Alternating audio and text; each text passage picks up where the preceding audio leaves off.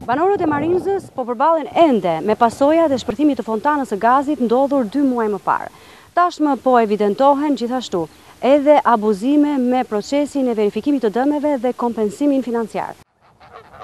Shtëpia që i kushtoi njëqind milionë lekë pësoi dëme të pariparueshme në kolonat mbajtëse, ndërsa Bankers e vlerësoi vetëm dyqind mijë lekë.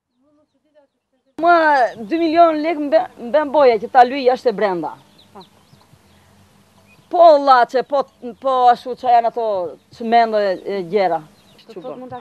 Por kjo familje po përballet edhe me pasojat shëndetësore tek fëmijët nga ndotja e ajrit. Se kur shpërtheu kjo, unë nuk kam qenë këtu. E bile dhe kur erdha, që kishte 2-3 ditë, unë u bëra keq, u smura. Kjo u mbush komplet me surrati dhe këtë e kështu. Në ambienti gazi, po. Ishte shumë keq. Nesti Nushi, tregon me fakte se si Bankers Petroleum ka përpiluar raport fiktiv për banesën e tij, duke përfshirë madje Edhe një pus që nuk ekziston. Këtu te kjo pika D ku thotë kjo pronari pretendon thotë kjo se dëmi është dy milionë e shtatëqind mijë lekë të vjetra. As unë s'e kam shprehur këtë, as nusja, familja. Këtu më poshtë, më poshtë thuhet që kam edhe një pus te shpia. Ja ku lexon këtu ky pusi. Kemi tërë këto dokumentat, madje i mbajmë këto dokumentat se shpitë na ranë neve.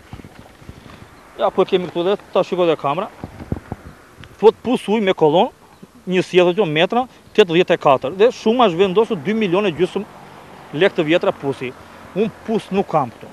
Të vinë ta verifikojnë, ky komision kush ka ardhë këtu që ka Që më ka bërë pus mu, se t'ia di për faliminderit njerë, ose ku është pusi? Pas shpërthimit, tokat kanë mbetur djerrë. Eduard Azizaj nxirrte të ardhura nga shërbimet që ofronte me këtë traktor, por dy muaj pas shpërthimit edhe puna e tij mori fund. Ka rënë puna tetëdhjetë përqind. Është nëntëdhjetë, tetëdhjetë përqind. Nuk punon njeri me tokën.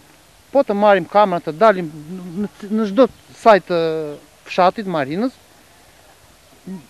një pesëmbëdhjetë përqind tentohet të vihet në punë si prona si ara dhe nuk funksionon.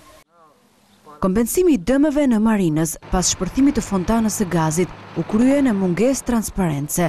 Bankers nuk e publikoi asnjëherë vlerën totale të kompensimit ndaj familjeve të prekura. Nga ana tjetër, gjysma e fshatit, me afro njëqind familje, nuk e përfiton të drejtën për kompensim edhe pse dëmet janë në të njëjtat përmasa me ato të së ashtuquajturës zonës së rrezikut.